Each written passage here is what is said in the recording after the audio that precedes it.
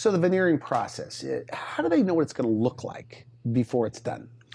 Well, with the veneering process, the first thing that we do is we take a whole bunch of diagno- we take a whole bunch of information to um, create a blueprint, and then from there we can show that to the patient of what it's going to look like. And the second step is we take that blueprint, and when we do our veneers, uh, their temporaries act as a blueprint as well. So um, th- that gives them an idea of shape, and then from there we can make changes. We can So they try on the teeth before they get the final. Cor- yes, Okay. yes.